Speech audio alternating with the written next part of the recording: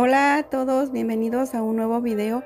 En esta ocasión te daré consejos muy valiosos que te servirán si tú eres nuevo o nueva en este mundo de las orquídeas. Espero que todos estos consejos te ayuden para que tú tengas éxito en, la, eh, en el crecimiento o en el cuidado de tus orquídeas. Yo espero que estos consejos te ayuden y te sirvan y le sirvan a lo mejor a alguien que tú conozcas. Así que comenzamos. En esta ocasión les voy a dar unos consejos acerca de las orquídeas. Eh, en este caso voy a empezar eh, con estas orquídeas que son estas, miren, que son de pseudobulbos. Eh, esta, esta es un, es un oncidio, no es un híbrido, y esta es mi orquídea que ya les he enseñado otras veces, que es mi orquídea pulpo. Miren, aquí está para las que no la nunca la han visto aquí está espero que la puedan apreciar. Esta ya tiene floreciendo bastante tiempo esta florece bastante bastante tiempo miren cada una de estas eh, piquitos que ustedes ven aquí es una flor y va a seguir floreciendo todavía por más más tiempo. Aquí tiene em, como ustedes pueden ver aquí se le ven todavía más pequeñas igual a la otra. Bueno pero ese no es el punto de esto. El punto de esto es que yo ya les hice un video de, las um, de las hojas, de cuando se caen las hojas, de por qué se tuercen las hojas, por ejemplo, en las phalaenopsis. Les dejaré el, el, video aquí abajo o aquí en la esquinita también va a aparecer aquí como sugerido para que aprendan un poquito más de, de esa, mm, de las hojas y de todo eso. Pero este video se me ha hecho... Eh, que lo quería hacer desde hace bastante tiempo y hoy me di eh, la tarea de hacérselos.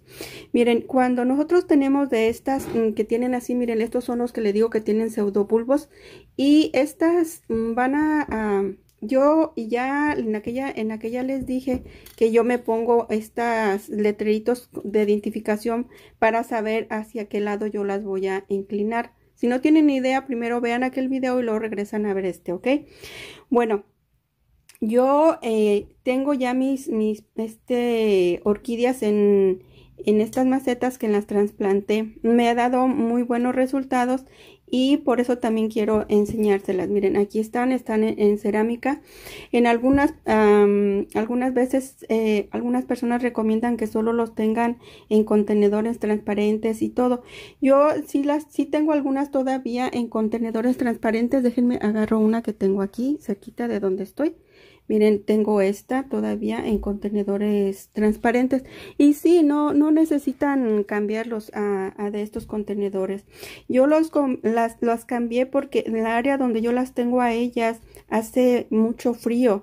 Yo vivo en una área en Estados Unidos donde tengo las cuatro estaciones y el invierno puede, puede ser muy frío, hasta 20 grados bajo cero, entonces es muy frío. Así que por eso yo quería como protegerlas un poco más. Pero eh, me ha dado buenos resultados tenerlas así, pero también, como ya les comenté, del otro, de la otra manera también es bueno.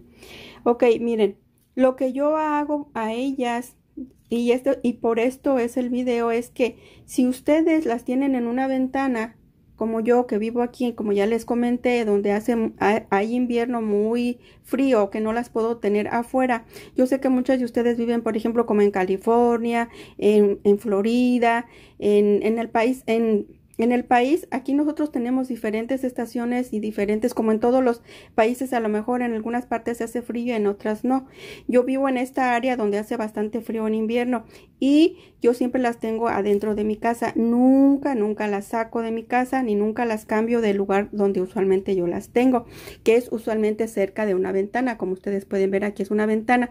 Yo ahora estas las tengo en una ventana donde están al sol directo, que también ya les he hablado de, de de ese tema. Aquí abajito en la descripción les dejaré todo lo relacionado de cómo poner sus, sus orquídeas al sol y todo eso. Si tú eres nuevo, te recomiendo que veas esos videos, te servirán muchísimo. Bueno, este eh, yo las tengo al sol directo a ellas, pero este, por ejemplo, miren, déjense los enseño el nombre. Esta es la que yo en otros videos le he llamado la orquídea araña. Por aquí les dejaré una fotito para que vean cómo ella florece. Y este es el nombre, miren, que ella tiene. Este ya, este ya es un, ya es un híbrido, como ustedes puedan ver ahí. Entonces, cuando, miren, aquí está. Entonces, cuando yo eh, las, las tengo a ellas, en verdad, yo las tengo, las compro, me las regalaron, lo que, lo que haya, lo que haya pasado con ellas, yo las tengo en la ventana, pero este tipo, a ella yo he descubierto que no le gusta estar directamente al sol. Por ejemplo, yo tengo otras, otras catleyas que sí les gusta estar directamente en el sol de la ventana, así que ella las tengo en esta área de la ventana, allá donde las tengo. Y pero a esta le gusta estar más alejadita, sí le, le da el sol y le da el sol directo, pero no, no tan así que por mucho tiempo. Entonces, un consejo para si ustedes tienen esta orquídea y no les ha florecido o, o está eh, a lo mejor muy, muy amarilla, tal vez sea porque le está dando mucho sol. Entonces, a, aléjenla un poquito de la ventana para que pueda a lo mejor tener mejores resultados. Yo con ella sí sufrí un poquito y, pues experimentando y todo, ¿verdad? Porque la mayoría de las personas que tienen orquídeas los tienen en viveros o son personas que tienen sus orquídeas afuera, que las sacan al sol y que, y que, y, que a lo mejor no tienen esos problemas que nosotros tenemos, las que las tenemos dentro de casa, que las tenemos en la ventana. Ok, pero entonces yo estoy compartiendo con ustedes mi experiencia cuando la tenemos en las ventanas. Ok. A este tipo no le gusta mucho la luz del sol directa, igualmente a esta. Y ya está, déjenme sacarles el nombre para que la puedan ver. Miren, ahí está. Es una enciclia coachelata. Esta, esta la conocen también como orquídea pulpo, ¿ok? Entonces, estas dos no les gusta mucho, mucho la, el sol. Pero otra de las cosas que yo quiero ah, darles consejo acerca de eso es también que si ustedes tienen sus orquídeas y, les, y las van a estar así como en este caso, siempre están ahí esperando la luz del sol, se les van a inclinar hacia allá porque ellas van a, van a inclinarse hacia allá. Miren, por ejemplo, esta que está en floración, miren las flores, la flor, déjenme, es que traigo la, el este está muy, miren, déjenme ponerme así de ladito un poquito, miren, están inclinadas hacia allá, porque hacia allá es donde le da la luz, la luz del sol. Entonces, estas, eso, eso es lo que va a pasar y nos va a pasar a nosotros que tenemos las, las orquídeas en nuestra ventana. ¿Qué es lo que yo hago para que no pase eso? las volteo. Y otra de las cosas también, primero déjenme explicarles esto. Entonces yo las volteo para que, dos cosas, para que no se inclinen hacia allá y como ustedes pueden, miren, esta está recta, miren, está recta, no, no, no está inclinada, ¿sí ven? Bueno, me va a ayudar para eso, pero no es que una semana la van a poner para acá y una semana la van a poner para allá, no. Miren qué es lo que yo hago, por ejemplo, miren, aquí está, miren, como ustedes pueden ver, aquí ya, ya acabó de, florecer. Miren, déjenme, dejo la cámara y la acerco un poquito. Miren, aquí acabó de florecer, ese es su, su, cañita o su vara floral que ya, ya terminó. Bueno, cuando ella acaba de, de terminar la floración, entonces yo la volteo y por ejemplo, miren, aquí tengo, tengo dos, tengo dos, dos, dos plantas, ¿verdad? Entonces, ¿qué es lo que yo hago? Yo quiero que, se estimule más estos crecimientos porque miren, aquí este no tenía ningún crecimiento. Estamos hablando de esta, miren, de esta. Entonces, este no, no estaba creciendo nada, estaba nada más allí. Entonces, ¿qué fue lo que hice? Cuando ella acabó de dar su floración, entonces yo la, la, la volteé para ese, para ese lado. ¿Ok? Para que ella estuviera recibiendo el sol para ese lado y que los crecimientos que iba a tener se estimularan y crecieran en esta área que mi maceta tiene espacio para que crezcan. ¿ok? Es por eso que ustedes ven los crecimientos, déjenme darle otra vez vuelta, que están aquí, miren que están aquí.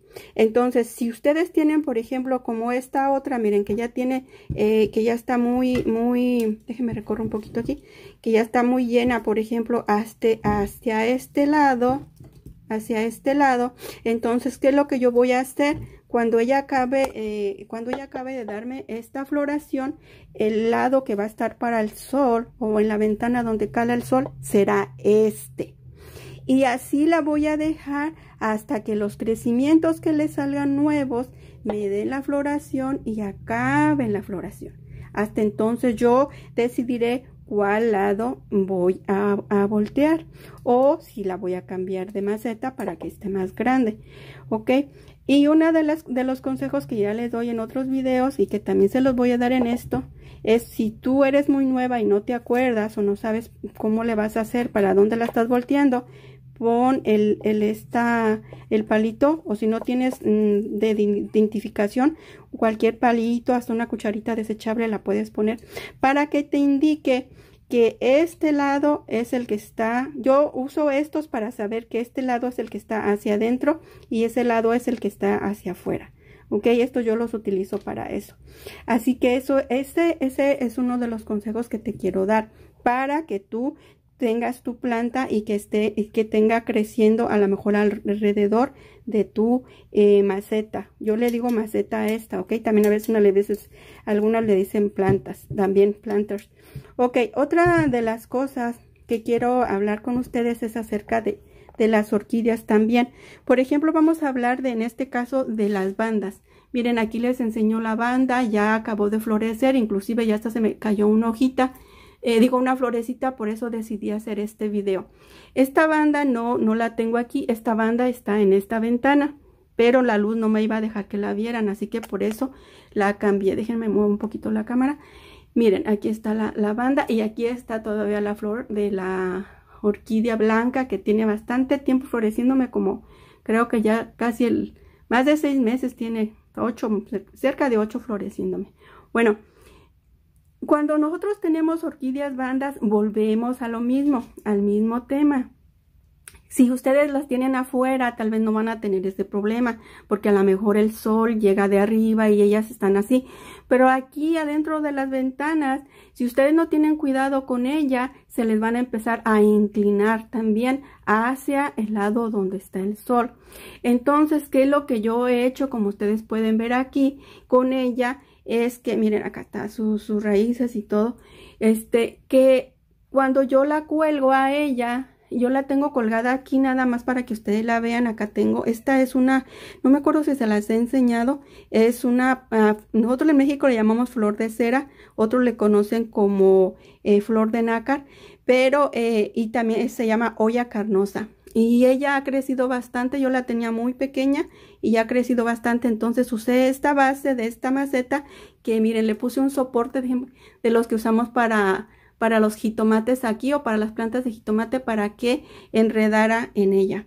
Y este soporte me está sirviendo para enseñarles esto. Bueno, eh, volviendo al tema otra vez, si ustedes tienen igual como yo sus em, orquídeas banda en la ventana, ¿cómo van a solucionar el que no se les venga para un lado? Que la van a estar rotando. La van a estar rotando y esta yo sí te recomiendo porque nosotros a estas orquídeas banda las sacamos, las bajamos todos los días para regarlas porque estas se riegan todos los días. Y miren, yo aquí tengo eh, el contenedor donde a ella la, la pongo y la riego. Entonces, cuando ella no tiene floración, yo te recomiendo que un día la pongas hacia allá y un día la pongas hacia acá. O sea que esta parte va a estar un día al sol y luego al otro día esta parte de acá va a estar al sol. Entonces estas usualmente vienen en estos ganchitos como tú puedes ver aquí entonces, esos ganchitos son fáciles de que tú los, eh, donde yo tengo otro, otra cosita donde está así, donde la, pongo.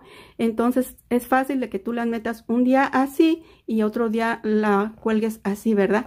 No sé si me explico o me entiendes, pero bueno. Espero que, que tú em, me entiendas y, que, y que tú puedas hacer eso para que tengas tu orquídea banda eh, de esta manera como tú puedes ver, como tú la puedes ver aquí, mira, está recta. Ahora, ¿Qué es lo que pasa cuando tiene floración? Dependerá en el área que tú la tengas. Yo, por ejemplo, como ustedes pueden ver, yo la cuelgo en la ventana y es un espacio muy, muy pequeño donde yo la tengo. Entonces, si yo la pongo hacia la ventana, ella va a estar maltratando su flor y no me le va a durar mucho. Entonces yo en el tiempo que ella me está floreciendo, la estoy poniendo solamente hacia eh, la floración hacia adentro de mí o donde no le está pegando en la ventana, porque si no, entonces la dañaré. Eso es lo que yo hago cuando ella está en floración. Pero si tú la tienes en un lugar donde no le eh, pasa nada cuando la estás poniendo, entonces síguela poniendo una vez así y una vez así para que no se incline. Y eso te ayudará bastante con, con, con este tipo de, de, orquídeas. El otro video que te dije que tengo ya este, hablando, habla acerca de estas orquídeas, de las phalaenopsis, así que te recomiendo que, que las veas. Y yo con ella tengo relativamente poco tiempo. Esta es la primera floración que a mí me da. Como tú puedes ver, está bastante eh, grande la flor. Eh, me ha durado bastante tiempo la floración. Y yo la riego a ella, para los que se estén preguntando, yo la riego a ella con agua de lluvia. Tengo este, aquí pongo agua de lluvia y con eso es con lo que yo, yo la riego. También le pongo fertilizante, pues de orquídeas. Y yo creo que, que pienso que ese es el consejo que yo quería darles a ustedes acerca de estas dos tipos de orquídeas, de las bandas, de las bandas para que ustedes las tengan bonitas y también de este otro tipo que tiene pseudobulbos, sean oncidion, eh, sean eh, con manaras o sean como, como esta entonces, solamente le estoy diciendo acerca de estas que tienen, que tienen los pseudobulbos, ¿ok? Así que yo espero que este, este video les sirva a alguien de ustedes. Recuerden que yo no soy experta, solo comparto con ustedes lo que yo hago con las mías y lo que me ha dado buenos resultados. Espero que este video les haya gustado, les ayude, compártalo con las personas que ustedes creen que les va a ayudar y que les va a gustar. Bendiciones para todos y hasta un próximo video.